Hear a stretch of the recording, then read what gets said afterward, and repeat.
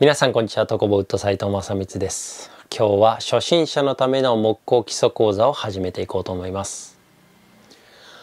DIY を始めたい。自分の作りたいもののイメージはあるけれど、なかなか手がつけられない。どこから手をつけていいのかわからないという話よく聞きます。そういう方に向けて、これから5回にわたって、このようなメニューを予定しています。毎週投稿していきますので、お見逃しなく。では早速材料についての講座を始めていきます。とその前に次の投稿を見逃さないためにも通知はオンにしておいてくださいね。では早速始めていきましょう。木工を始めようと思った時最初に戸惑うのは自分のイメージに合った材料をどのように選べばいいのかということではないでしょうか。ホームセンターへ行けばたくさんの材料がありますよね。自分のイメージしているものにはどれが適しているのかわからない。だから木工を始められない。なかなか手がつけられないなんていうことあるんじゃないでしょうか。一般的に買える材料としては大きく3つに分かれています。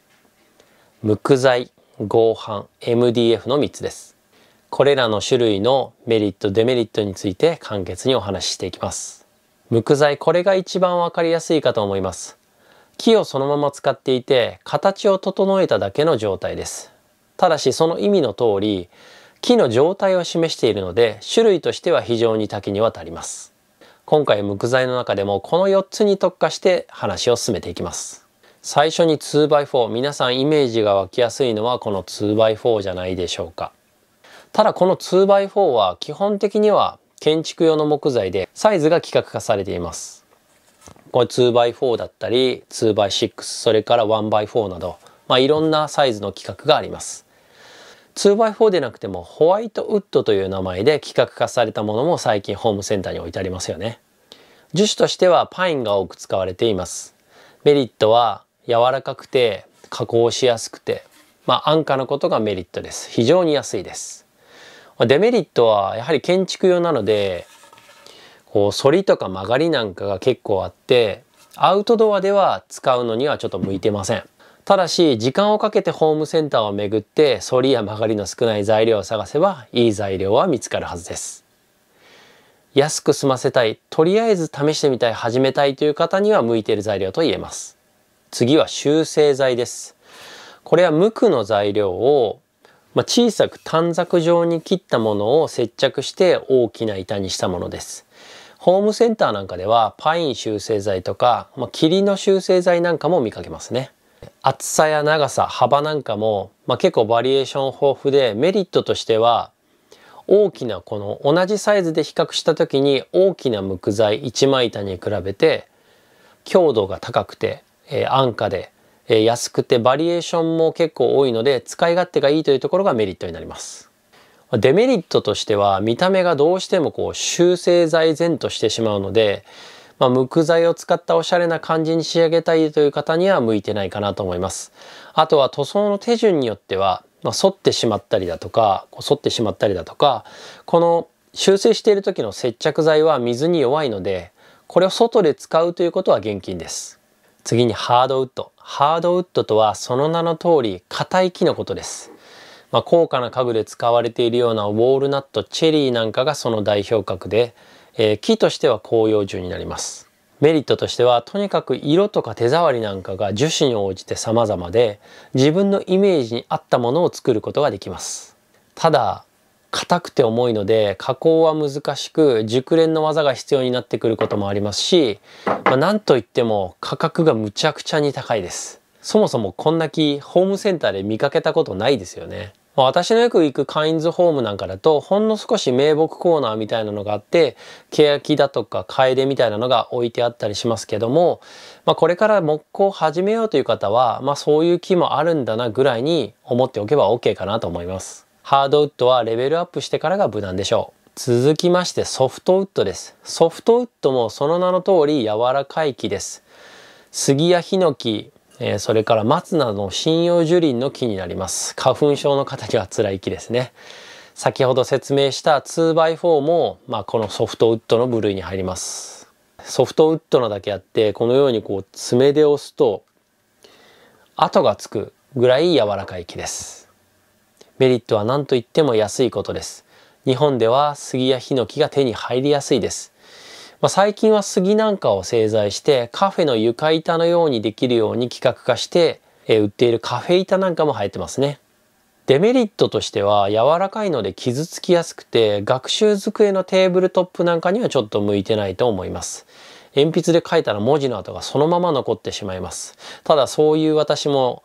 値段に負けてよくソフトウッドのテーブルトップを使ってます。あとはハードウッドに比べると弱いというところでしょうか。弱いのでどうしても材料を太くする必要があってよく言えば素朴な感じに仕上がりますがこうモダンな感じに仕上げようと思うとちょっと細くしなきゃいけないので工夫が必要になってきます。続いて合板ベニヤについて説明していきます。合板とかベニヤ特にベニヤって聞くと安い材料のイメージありませんか？実は全然そんなことはないです。合板にもいろんな種類があります。まあ、そもそもベニヤというのは木を薄くスライスしてかつらむきにして1枚のこう薄い1ミリ以下のペラッとした1枚の材料のことをベニヤと言います。それをこう重ねてプレスして板状に接着したものを俗にベニヤと呼んでます。確かに私が子供の頃ベニヤというとザラザラしていてすごく荒っぽいイメージがありました。今考えるとラワンの合板なんですけどま確かにラワンは軽くて目が粗いです。ただホームセンターに行ってシナ合板というのを見てみてください。表面はシナでシナの木ですね。で、これはあのアイスクリームの棒の材料になる木です。まあそれで化粧をしてあって非常に綺麗な材料です。まあもちろんこの中には別の材料がラワンとかが挟んであるのでそれなりかもしれませんけど表面はとても綺麗です。また合板でも、まあ、このように外と中が違うものというのもありますし先ほど見せた材料のようにこうミルフィーユのような表面になっている材料があります。でこれは表面でなくてこの表面と同じ材料を積層して、えー、プレスしていると。しかもこの木目を直行させる方向にプレスしているので、えー、強度もすごく高いというような材料があります。そうなると見た目もすごく綺麗ですよね。これは北海道の白樺を使った間伐材の白樺を使ったエコな合板になってますしこちらは、えっ、と、シナ合板になってますね。まあ、他にも合板の種類っていうのは実はすごく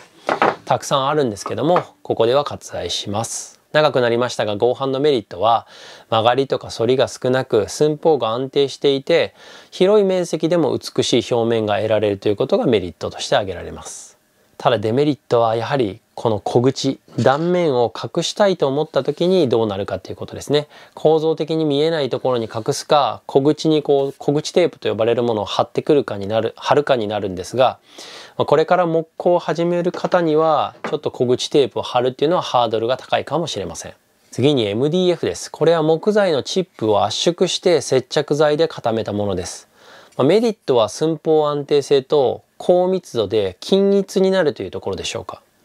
まデメリットは木質ではありますけども、まあ、木の木目はないので、まあ、正直これを使うのはジグだとか、まあ、見えないところに使うもしくはしっかり塗装して使うような場面かなと思います。今回の基礎講座ではこの中から代表的な 2x4 ソフトウッドハードウッドこの3種類を中心に実演を交えながらご覧のような内容を説明していく形になります。これらの材料がこれからどのような形にそれぞれ仕上がっていくのか楽しみにしていてください。いかがだったでしょうか？最後まで見ていただきましてありがとうございました。駆け足でしたが材料について説明しました。このように基礎講座毎週続けていきたいと思いますので、ぜひお見逃しないようによろしくお願いします。少しでも参考になったなと思っていただける方は、いいねとチャンネル登録ぜひよろしくお願いします。ではまた次の動画でお会いしましょう。